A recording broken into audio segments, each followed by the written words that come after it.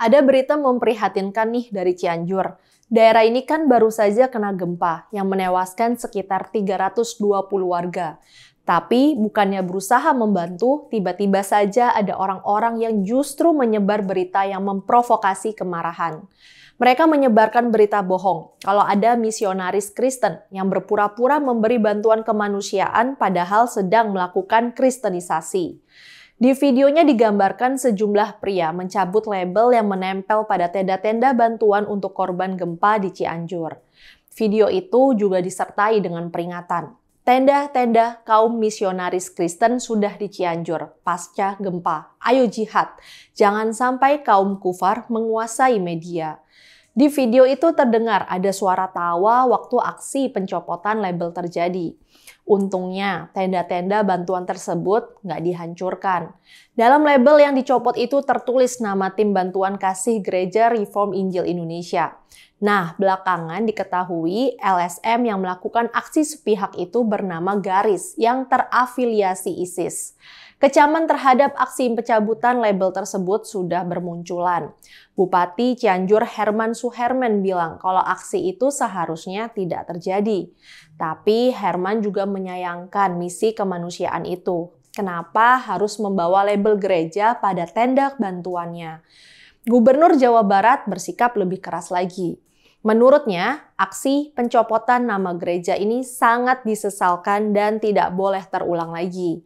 Rituan mengatakan bencana alam bisa terjadi pada siapa saja. Begitu juga pihak memberi bantuan bisa dilakukan oleh siapa saja. Menurutnya, adanya label nama gereja di tenda bantuan adalah wajar karena itu merupakan bagian dari pertanggungjawaban terhadap donatur. Ridwan juga menegaskan, bantuan kemanusiaan tidak boleh dinodai unsur kebencian antar golongan. Dia juga meminta pihak kepolisian segera bertindak dan menjaga agar hal serupa tidak terulang lagi. Apa yang terjadi di Cianjur ini sangat memprihatinkan. Tapi nampaknya ada upaya sengaja untuk menuduh bahwa Cianjur adalah daerah yang menjadi sasaran kristenisasi. Beberapa hari yang lalu, beredar sebuah video di kanal YouTube Mifta TV dengan peringatan soal kristenisasi. Judulnya, Geger, soal gempa dan kristenisasi di Cianjur. Banyak muslim pindah ke Kristen dari Islam. Video yang diupload pada 24 November itu sudah disaksikan 72 ribu penonton.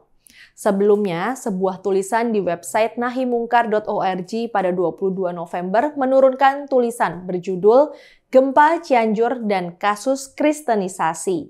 Digambarkan di desa Panyawangan Ciranjang Cianjur, sekarang hampir 100% penduduknya pindah agama menjadi Kristen. Daerah lain yang juga berhasil dikristenkan selain Cianjur adalah Cideres Majalengka, Cigugur Kuningan, Cikembar Sukabumi. Misionaris fokus pada daerah miskin Cianjur Selatan, Garut Selatan, Banten Selatan. Digambarkan juga para misionaris Kristen melakukan berbagai cara untuk melakukan kristenisasi. Misalnya saja, mereka berpura-pura menjadi muslim dengan menggunakan kerudung dan peci. Kristenisasi juga dilakukan dengan modus iming-iming uang, mobil, dan motor. Kaum Kristen itu mentargetkan anak-anak tokoh di daerah. Mereka bahkan menikah dengan perempuan-perempuan Muslim. Banyak muslimat yang baru tahu setelah pernikahan bahwa suaminya bukan Muslim. Sebagian meneruskan pernikahan, sebagian lainnya memilih bercerai. Menurut Nahi Mungkar, orang-orang Kristen sudah menguasai puluhan ribu hektar tanah di Cianjur. Benarkah isi berita itu? Ternyata hoax. Tulisan dan video itu ternyata cuma mengkopi sebuah berita yang diulang-ulang sejak 2018. Fitnah kristenisasi itu sudah dibantah oleh kantor wilayah Kementerian Agama Provinsi Jawa Barat pada tahun 2020 lalu. Kemenak menyatakan berita kristenisasi Cianjur itu tidak benar. Kemenak bahkan sudah mengirimkan tim peneliti ke Cianjur. Nyatanya, peneliti tidak menemukan ada tanda-tanda kristenisasi di berbagai daerah di Cianjur. Warga non-muslim yang berada di Cianjur bukanlah mereka yang pindah agama dari Islam, melainkan memang merupakan warga keturunan non-muslim. Ironisnya, peneliti Kemenak menemukan justru yang banyak terjadi adalah pindahnya warga non-Muslim menjadi Muslim. Penyebaran fitnah tentang kristenisasi di Cianjur itu sangat tidak pantas. Kondisi Cianjur saat ini kan sedang memprihatinkan. Lebih dari 320 warga tewas, sekitar 2.000 luka-luka, dan lebih dari 60.000 warga harus mengungsi. Sekitar 56.000 rumah rusak. Fasilitas lain yang rusak adalah 31 unit sekolah, 124 tempat ibadah, 3 fasilitas kesehatan, dan 13 gedung perkantoran. Dengan kondisi seperti itu, Cianjur sangat membutuhkan pertolongan.